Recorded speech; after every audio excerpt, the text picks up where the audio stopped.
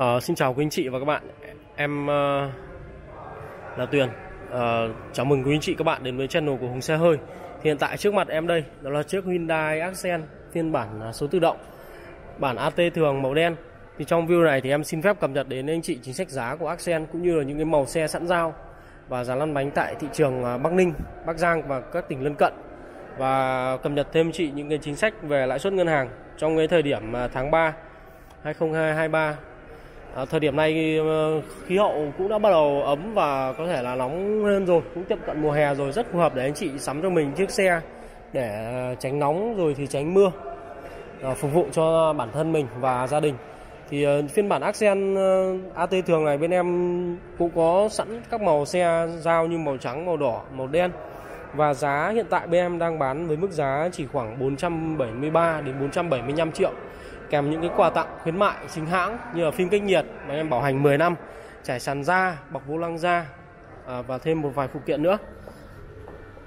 Thì cái giá lăn bánh tại à, thị trường à, Bắc Ninh Bắc Giang và các tỉnh lân cận thì nó rơi vào tầm khoảng 530 triệu thôi anh chị ạ. Vâng, xe thì sản xuất 2023 cũng như là chính sách trả góp thì hiện tại bây giờ bên em đang có những cái ngân hàng hỗ trợ rất tốt cho khách hàng. Lãi suất cũng đã giảm rồi chỉ với không khoảng 0,8% cố định ờ, trong vòng một năm khoảng 0,82 83% cố định trong vòng 2 năm và khoảng 0,88 đến gần 0,9 cố định trong vòng 3 năm. Thì ờ, cái hồ sơ trả góp thì anh chị chỉ cần đó là hợp đồng lao động rồi sau cái lương cũng như là căn căn cước công dân của hai vợ chồng và tình trạng hôn nhân của quý anh chị. À, bản đặc biệt thì bên em ờ, đang bán với mức giá đó là 513 đến 515 triệu và giá lăn bánh tại thị trường Bắc Ninh Bắc Giang thì đâu đó là 10 à, khoảng 570 triệu ạ. thì các màu xe thì bên em cũng có sẵn những màu dao như là màu đăng đen, màu trắng, màu đỏ và một số màu như là vàng cát nữa thì phụ kiện cũng sẽ tặng như bản tiêu chuẩn. Một số công nghệ à, nổi bật của Accent thì anh chị có thể thấy. Đó là hệ thống đèn halogen kiểu chiếu projector cho chùm sáng hội tụ. Đèn gầm cũng là đèn à, halogen kiểu chiếu projector. Phá xương rất tốt. Và đây là đèn à, chiếu góc, đèn chiếu góc của xe khi anh chị vào cua. Thì vào cua gấp thì chiếc đèn này sẽ sáng hỗ trợ anh chị vào vào cua rất là tốt mặt ờ, uh, ca đăng trước thì được mạ chrome cản trước cũng được mạ chrome khói sang trọng. Đây ạ. Đó. À, trên phiên bản tự động thì đều được trang bị đèn nổ từ xa và có mở cốp thông minh. Thì trong cái thời tiết hè này thì anh chị uh, có thể đèn nổ từ xa trước để mình khởi động xe uh, cho xe được mát. Và anh chị lên xe thì đã có một chiếc xe để sẵn sàng mình đi rồi đỡ phải chịu cái sức nóng của mùa hè ở trên chiếc vô lăng này thì có những cái phím bấm như là phím ừ, đàm thoại sảnh tay, tăng giảm âm lượng, rồi thì cần đèn thì có đèn tự động và gạt mưa tự động của hai bản tiêu, đặc à hai bản tự động bên em. Ở chiếc màn hình ờ, đa thông tin giải trí trung tâm này thì bên em là kích thước 8 inch, có định vị Google Maps, rồi kết nối Apple CarPlay, Android Auto, vân vân.